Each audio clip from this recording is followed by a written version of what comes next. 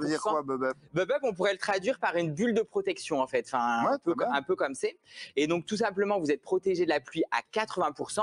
Vous pouvez mettre, en fait, il y a juste les jambes qui restent à peu près sous la pluie, donc vous pouvez mettre un petit euh, pantalon de pluie et hop, Ah, ça se petit plie. unicorn. Ouais, ouais. Mais bien sûr, ça se plie, ça se Ah met oui, en mode un peu voilà.